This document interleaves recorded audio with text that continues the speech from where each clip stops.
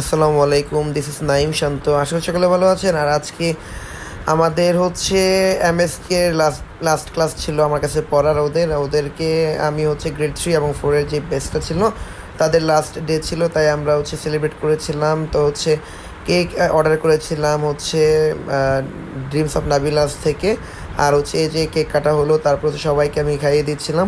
এখানে তাবাসুম অ্যাবসেন্ট ছিল, আহনাফ অ্যাবসেন্ট ছিল। আহনাফকে বলা হয়নি, আহনাফ তো খুব রাগ করেছে। সরি মামা। তো যাই হোক, অনেক এনজয় করেছিলাম সবাই মিলে। তারপর হচ্ছে প্ল্যান করলাম যে আমরা রিসোর্টে যাব। তো সবাই মিলে রিসোর্টে গেলাম, গিয়ে অনেক খেলাধুলা করলাম, ফুটবল খেললাম। ফুটবলে তো আমি তো অনেক বছর হয় ফুটবল খেলি না। তো হচ্ছে বাচ্চাদের সাথে আলটিমেটলি পারলাম না। সাদাত হচ্ছে ম্যান অফ দ্য ম্যাচ হয়েছে। ও তো পুরো এত ফাটাই ফেলছে, খেলা অনেক ভালো খেলছে। অনেক এনজয় করেছিলাম আমরা। আর আমি চেয়েছিলাম একটু বৃষ্টি হোক, আল্লাহ আল্লাহর রহমতে বৃষ্টিও পেয়েছি আমরা। তো হচ্ছে অনেক মজা করেছি, অনেক মজা করেছি। রিসর্টের ভাইবসটা খুব সুন্দর ছিল। তারপরে এই যে বাচ্চাদের হচ্ছে সুইমিং করা, আমরা হচ্ছে অনেকগুলো ইভেন্ট করেছিলাম। ইভেন্টে সবাই অনেক মজা করছিলাম।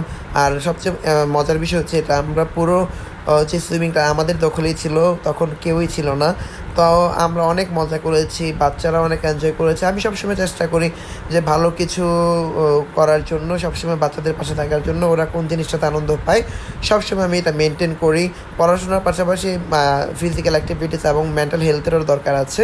আমার মনে হয় প্রত্যেকটা বাচ্চার যত্ন নেওয়া উচিত। তো অ্যাজ এ টিচার হিসেবে আমি তো সবসময় যত্ন রাখি।